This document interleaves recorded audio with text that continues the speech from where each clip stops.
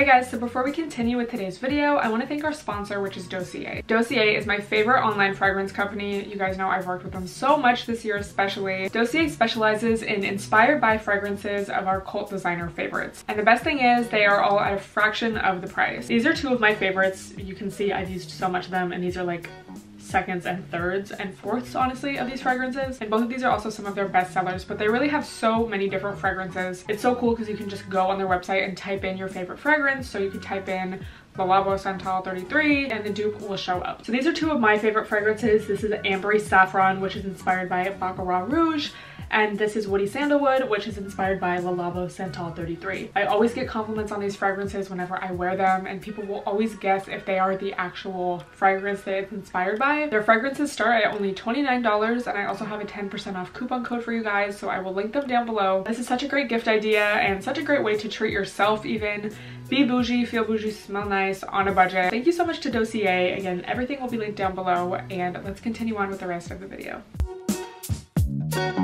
Good morning, you guys. It's the next morning, literally like 7 a.m. I've been waking up at like 4.30. I think today it was like 4.50, but literally if y'all wondering why I've always woken up so early, um, I was fucking raised like that. Um, but also the pets all wake up at like five especially the puppy you know i mean the cat too honestly so i just be up and it's not really hard at this point because we also all go to bed so so anyway i don't like that's fine with me, bitch. Y'all know I go to sleep early and wake up early anyway. I'm just doing my morning skincare. I got my Ulta package from Black Friday yesterday and I thought I would show you guys what's in it, but as of now, here's what I'm using. I just used the hydrating CeraVe Cream-to-Foam Cleanser. My skin was kind of peeling just from it being dry outside. I don't know if exfoliating it was the best thing, but I used this Mad Hippie Microdermabrasion. I just worked with them a few weeks ago so yeah. Now I'm using this Herbivore Cloud Jelly, which is like vegan collagen and like a plumping hydration serum. I've really been enjoying this. I feel like it makes my skin look cute and I just think it's so pretty and cute. I'm using a random eye cream. This is from Dr. Brandt. It's their triple peptide eye cream. I mostly like brightening eye creams or like a caffeine eye cream in the morning but low-key my like eyelids have been dry because it's been cold out so i'm just gonna use those so i was just doing some work drinking my coffee. My parents just went to go walk the dogs and i'm gonna eat and then go to the gym in a little bit. A classic. I definitely prefer this to the lotion. The lotion's like a little greasy but this is just like thick hydration you know moisturization then i need to come back do a grwm and then film some brand deals and stuff and I want to try to do some TikToks. One of the things I got from Ulta is this new SPF. This is from Hero. I've used their pimple patches before and this was on sale like get one buy one get one 50% off or something so I got two but it was one of the sunscreens they had that was a reasonable price and that was zinc based instead of chemical based whatever so hopefully it's good because I did buy two of them this is my first time trying it. Okay. So far, it has like no smell. Let's see if it has like a white cast. Yeah, so far it's pretty easy to to blend. You know how some sunscreens, especially zinc sunscreens, can be kind of like like a weird texture. Like it's hard to kind of spread them out. Yeah, it literally has like no scent. Okay, Hero. I actually really like it so far. I feel like you can tell a lot of a sunscreen just based on like the first application. Yeah, I'm glad that worked out. It did have good reviews. Um, but yeah, I kind of took a chance by buying two, so I like it. Let me just put everything away. Okay, so just a few more things I got from Ulta. I've only tried one of these things. Well, I guess now two since I have these. I needed more of this Shea Moisture leave-in conditioner. They also had a really good Black Friday deal. I forget what it was. It might have been get buy one get one half off. Ulta had a lot of good deals and I'm not even a huge Black Friday shopper. I'm not like, oh my god. Like y'all probably get the vibes. Like I'm not like, oh my god, this is what I got from the Sephora sale. Like I just kind of get what I need, whatever. I don't know. But I did need some new products and it just happened to follow along Black Friday. So anyway, got more of this. I do like it. And my hair is very thick and like bleached so kind of need that so then i decided to try some shea moisture body products which i've never tried i got their relaxing body cream which i thought was cute i kind of needed like another body cream. It has been getting pretty cold here, so wanted that. And then I also got their Lavender and Wild Orchid Calming Hand and Body Scrub. And I feel like majority of the time I've been here, back in Washington, it's been like cold and dry, not like wet and like stormy. Like there's been a few days of that, but it's mostly just been cold and like dry. I'm not a huge scrub girl. Like, you know when people buy like the, what is it, Body Hut ones and they have like 30 of them in their shower and it's like okay please relax consumerism i feel like they don't always work like i feel like people think they work because they have oil in them so they leave your skin feeling soft but it's not like they're actually exfoliating i prefer to physically exfoliate or like i guess it is physically I prefer to exfoliate with like a Korean spa mitt. That will really get your fucking skin off. Like if you use a body scrub on your self tan, it's not gonna really come off. But if you use a Korean spa mitt, bitch, your whole tan will come off. But anyway, I just kind of wanted to try it because it was on sale and it sounded cute and like, I don't know. It kind of, kind of smells odd, but we'll try it out. So just a couple more things. I got these small sizes of this Redken Frizz Dismiss shampoo and conditioner. I currently have their All Soft and it's like okay. I don't know it's just kind of hard to tell. I feel like my hair just looks dry in general because it's again really thick. It's kind of like has a wavy texture like it's not completely straight and obviously it's been bleached for years. So i thought i would just try this one so i got the smaller sizes. The all soft bottles have lasted me so long so it is worth the price I guess again it's like what is it really doing but I thought I would just try this and then I wanted a new heat protectant blow dry spray something and this Pacifica one had really good reviews, so we're gonna try it. I low-key thought it was gonna be a bigger bottle, but it's the Vegan Silk Blowout Shine, Smooth, and Protect. Yeah, it's like for when your hair's wet, right before right before you blow dry. Let's smell this. People were saying it smelled really good. Oh my god, it does. It smells like real vanilla. Like, you know? Like it smells like cookie dough, like that you just put vanilla extract in, not like a cheap candle. so that's everything I got. Again, it's not like a huge haul but it was some stuff I needed and some fun stuff as well. So that's it, but I'm gonna go eat and get ready to go to the gym. We're doing some training. Now, let's show the people what we've learned. No, sit, good boy. Stand. Good stand. Okay, fine. Um, paw. Oh, good boy. Stay.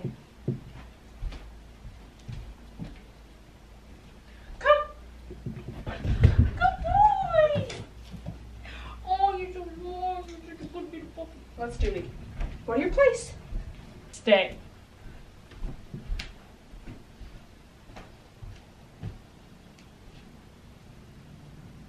Okay, come.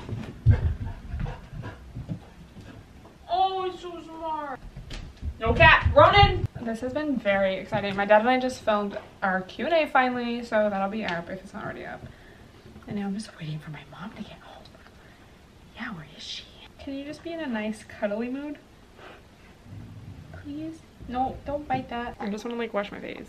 Literally like having a baby. Hey guys, it's a few days later. I was just doing some editing. It's Saturday, so I didn't go to the gym today. Recently, I haven't been going to the gym on Saturday and Sunday because I feel like since it gets dark so early here like literally 3:30, i feel like it starts to get dark especially when it's gray outside like cloudy. I just feel like there's not enough time in the day to do everything i want to do especially as far as filming content goes. And i feel like going to the gym takes so long because i walk there and back and i don't know just because i go to a physical gym now i feel like my workouts are lengthier because i have like full equipment versus before. Ever since the pandemic or I guess after they reopened gyms after lockdown and stuff, I never went back to a real gym. I was just always using my apartment gym, which was fine, but I was kind of limited in what I could use. So now being back at like a real full gym, it's kind of like just like Disneyland. I wanted to do a book haul. Y'all love when I talk about books, but I feel like whenever I make a full video about books, it does not seem to do well. So do y'all like the book content or not? I don't know how many books I read last year, but I swear it was like four. So one of my goals this year was to read more books. I started using my Goodreads account again, which if you don't know is an app slash website where you can track books, read reviews of books, make lists of different books, whatever. And they have like a reading challenge thing you can do each year. Just a great way to keep track of the books you read. And I did 12 books for the year. Bitch, right now I'm at 27 and I think I'm gonna get to 30, which is like two and a half books a month. Shout out to me. So this is my current read. One of the first books I read this year was this author's was it her first book called Three Women, which was a New York Times bestseller. And this one I think came out this year. I remember Three Women being kind of depressing. It is about three women, three separate storylines. It's kind of depressing, I remember. So she came out with this one this year and this one is nine short stories just about different women and I don't really know how I feel about it. also, the first story was in second person, which is like when they use you, like, oh, you were doing this and then you thought this. And the character was just like, I don't want to say it was triggering, but it was just like a very negative read. She was like this successful businesswoman that lived in LA and had like made it because she had this really successful reality show or something. But it's like all she thought about was this guy that dumped her and like calories and just all the times it would be like, you wondered how many calories were in this. It was like, it just was like very depressing to read because I just feel like like yeah i mean we all go through things but like my mindset like i'm just not in that kind of mindset right now. So i feel like it has gotten better but i wonder how i'll feel about it like as i finish it. I don't want to say it's like triggering. I could see it being triggering for someone but it's more so just depressing. Like you know when you read a, something or you watch a video about something who went through something and you feel like inspired after or maybe like represented or less alone like oh like you can relate to it. So you're like oh my god like other women go through this other people go through this whatever. I just like don't really feel that reading this like I feel like these bitches are kind of dumb. And it's like women of all different ages and all different stages of life but it's like still just I don't I don't know. So we'll see. I don't know. We'll see. I'll probably finish it because I just kind of want to know like how it progresses but I don't really like how it kind of switches like one story will be in second person one story will be in first person then it will go to third person. It's like I just wish it was a little easier to read. I don't know. And then in my discord there's like a book what's it called like category like thread. And someone recommended this book M Train by Patti Smith. And she said I think she recommended her other book. But I was told this was kind of like an Eve Babitz book in the vibe of like it's chic, you know, she's in New York for some of it, and it's just kind of like stories. I don't know. I read the first chapter so far. Let me know if you're someone who can like read multiple books at once. I feel like I can, especially when they're like kind of different vibes. I feel like I haven't read enough to like get into the flow of it yet, you know? So I don't really know the vibe of it yet, but I pretty much know the vibe of this so far, but we'll see. And then my mom gave me this book to read, which was like, please. She was trying to read this and then she was like, I think this is better for your age demographic. So we're gonna see. It's like a rom-com, just like for funsies. I don't know. So this is kind of my last priority, but like, you know, we're gonna finish all of them hopefully and then I'll be at 30 books for the year. Also, I tried those new products, the new hair products from my Ulta haul and I think I like them. It's kind of hard to tell with the shampoo and conditioner like bitch it's my first time using them but i did use the pacifica like blow drying spray and i really like it it just smells so good and like I feel like it did make a difference in me blow drying my hair today. I really need to get the like blowout, like blow dry curl down because I feel like I've got it down of like how to section my hair. I didn't even know how to do that for the longest and just that alone has made the biggest difference. I'm not like the best at blowouts, but at least I can blow dry my hair smooth and like it is all pretty much the same I don't really like, I need to figure out what's going on with this. I want to learn how to get the really good like flip, you know? Because it kind of had it when I first did it, but but I don't know. So that's kind of my next thing. Tonight, my goal is to do my nails. So I got this um, gel nail kit from Amazon and people did warn me once I posted on my story like be careful because you have to make sure it's certified and whatever. I don't know because this one had really good reviews. Like so many positive reviews and I tried it yesterday on my toes and I really like it. It's a UV lamp of 48 watts, so I think it's typically recommended to get one over 40. And yeah, I just did like a French pedi. I did a pretty good job for it being like my first time doing that and just like my first time even painting my toenails myself in the longest time. So I went to a nail tech in LA, bitch. I went to this girl since I first moved to LA and I followed her throughout so much. Like I first found her from this random nail salon that I went to when I lived in Hollywood and I would just always go to her and then she started her own business and so I kept going to her and we just became super super tight. Like it's so sad when you have to leave connections like that. It's like yeah bitch if I was balling I would fly her out. Like people literally fly her out to do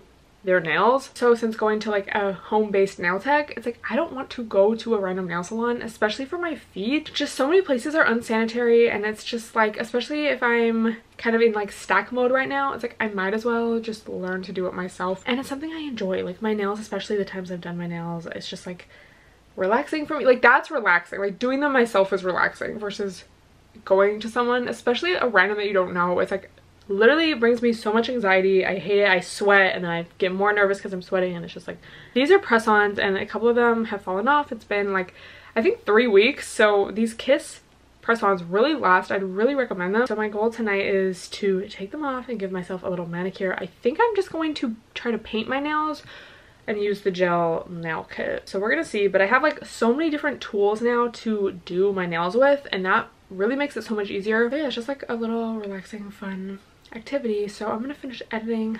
Let me actually, let me show you what's in this nail kit though, because I never showed y'all. This is not sponsored, but I will link it down below. UV lamp Avi.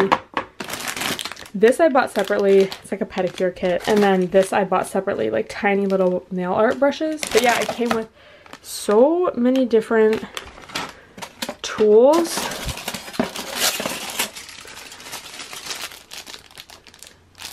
Like amazing. And all these different colors. I did get this color separately because it is a jelly color which i like for like french pedicures and stuff. But technically i didn't need to. Like they do have a lot of different colors in here. But I used this yesterday along with the white and I really liked this. It's just like a jelly kind of pink nude. I think I will probably use this on my nails tonight. Then I might try to do some nail art, but I don't know, I might be over it at that point. Yeah, like how cute is that? Like it really worked and it has like the base coat and the top coat and a matte top coat, which I don't really like matte, but whatever. And I was watering on my plant. So anyway, that's the vibe. I'm going to finish editing and then do my nails. Okay, y'all, so my nails yesterday did not work out. I did one hand and I just did not like the look of it at all, so I took it off. When I was taking off my press-ons, I kind of ripped this nail a little bit, which is so bad. It just really hurt, so I'm just gonna like let them chill for a few days, let them grow out a little, and then try again. Because I do know I can do it. I did my toes like really good. It can be hard to do your hands, you know? Anyway, I wanted to give you guys a little haul. Part of this was gifted and part of it is a Bath & Body Works 9.95 candle day haul. So we're gonna start with that. I got four candles. Bath body works candles. I don't know. I feel like they're a little childish. They used to be like so like amazing to me. But especially after burning one i got them last night so i was burning one today. It low-key's burning really fast. My cheaper target candles that are around the same size maybe even a little better burned slower than this. The scents are very potent but it just burns so fast. I don't know, I probably won't be purchasing these again. I haven't gotten Bath & Body Works candles in the longest time but I just saw it was candle day so I decided to order a few and I don't know I feel like just having less of my own space now that I'm back home it's just like I want things to make my room feel cozy and just like my space so it's not like I regret getting them but it's kind of like I'm not like obsessed. Anyway, I got Tree Farm. You guys probably know this, but I really like scents that are woody or spicy or like like more masculine sense or more natural sense and definitely more like fall winter. I don't want an ocean candle. I don't want i don't really like citrus candles honestly. I don't want a vanilla candle. Like i want just like a nice sandalwood like pine fir like cedar wood like anyway so this is tree farm. It's kind of a mix of like spice and pine. This is the one I was burning and look how much it burned bro. Like why did it burn already like half an inch or more? Like it was not burning for that long today. But anyway, it's cute, it's festive. Then I got mahogany teak wood, just the regular one, not the like super one, because I feel like my parents are not gonna like those. This is like the classic like men's cologne, like walking into Abercrombie in 2009 scent. It's just so good. I really like this scent and I love that they have this like holiday themed version. Then I got Fresh Balsam, Balsam, Balsam. This is literally just like a Christmas tree scent. It's very basic and fresh and nice and I like this. And then the last one I got was Leaves. This is another one I have tried before and it's it smells kind of like like hot spiced apple cider. So it is on the sweeter side, but it's not like overpoweringly sweet. You know, it's like kind of spicy and like cinnamony and like just nice and fall and holiday and just nice. So that's what I got. Again, not obsessed, but at least they were like over 50% off, you know? So shout out. If you got any candles on candle day, let me know. Let me know what your favorite candle is in general if you have one, like a brand. Because these just feel really childish to me. I don't know. Anyway, this clothing site called Temu reached out and wanted to send me some clothes in exchange for a feature. And after looking over their site, I was like sold. They have really cute stuff and just a lot of really trendy stuff. So I got this little crop top from them. It came in a three pack and I believe they had different colors as well. But I got this green, a black, and a white and they're all kind of like this square neckline which I don't really have anything like that. So I thought this was cute just like a basic. I also got some more leg warmers. Like they just had so many trendy things. These are just white knit leg warmers. They had so many different leg warmers as well. So now onto the really fun stuff. I got this knitted sweater vest which I thought would be so cute with like I don't know, like some trousers or like a skirt kind of tucked in, you know, get that kind of British vibe. like a schoolgirl vibe, like I don't know, perfect for the holidays and I don't know, I'm just excited to see how I can style this. Then we have these really wide leg cargo pants. I got them a size up because I wanted them to definitely be baggy on me and mostly long enough. So they're super baggy and then the bottoms, you can cinch them if you want. I probably won't, like I really want just like that baggy vibe. Yeah, they have pockets and a drawstring, pocket in the back. These are just so cute to me. This with some sneakers and like the white crop top version of this it's just like you can't go wrong with that you know? But then i can also layer this in the winter like this with a hoodie and this puffer coat i got. That's just so cute. And it's comfy but it's trendy but it's you know it's easy. Then i got this cargo skirt which ever since i seen bella hadid wear something like this i wanted it. But it's just this cargo like super long like baggy cargo skirt. I don't have anything like this. This is like one of those things in middle school you would like never wear this like you know? I mean maybe the kids now are doing it because baggy and just like i don't know this kind of style is more trendy but bitch when i was in middle school it was like skinny jeans. Like you could not wear anything that was not skinny jeans. And like leggings. Like yoga pants was as flared as you could be but they had to be super tight on the top Anyway, so yeah, I'm excited to style this as well and just see like what I can wear with this. But I feel like this is also something that you know you can wear with winter. Like i really want to get some wool tights so i can start wearing more dresses and skirts and stuff. But then you could also wear this in like the spring you know with a little like crop top or a little cardigan and just be like small on the top big on the bottom. And then just two more items. I got this cropped hoodie just like for the gym and i guess just for like outfits as well. I feel like a lot of my hoodies are oversized, which I typically prefer. I only have one or maybe I have two that are kind of more cropped and like actually fit me. So I just wanted to get another one, you know, for layering and things like that. And then the last item, probably the thing I'm most excited about is this big black puffer jacket. So oversized and I just feel like this is exactly what I've been needing. I have a couple puffers, but they're just kind of more like like one's American Eagle, you know? It's like, I just wanted something that was more like masculine in the sense of more like baggy and oversized and like not like kind of cropped with a fur hood, which is like what I currently have. And this is nice too because when I want to wear like an oversized hoodie or sweater or something, I can wear this over it and it's actually going to like fit together. Super good quality. The zipper is like super smooth um, and I'm just really impressed with this. All of these items, in fact. So if you want to check out Temu, I will link all these products down below. But thank you so much to them for sending me some pieces. I'm not getting paid for this, but they did send them to me as a gift so thank you so much to them and follow me on IG for some outfit pics. One of my like winter goals I guess is like just to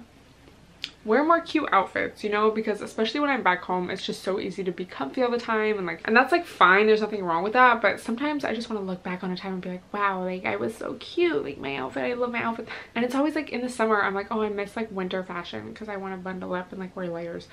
So I just really need to take advantage of that. So anyway, thank you so much to Temu. And yeah, I think that's pretty much it, y'all. I think I'm going to end the vlog here. So thank you so much for watching. Stay tuned for more upcoming vlogs and a Q&A with my sister that I want to do. She's coming home in a few days, so I'm so excited to see her. And don't forget to follow me on IG, TikTok, and my new podcast IG. And check out Dossier as well. Thank you so much for watching, and I'll see you next time. Bye, everyone.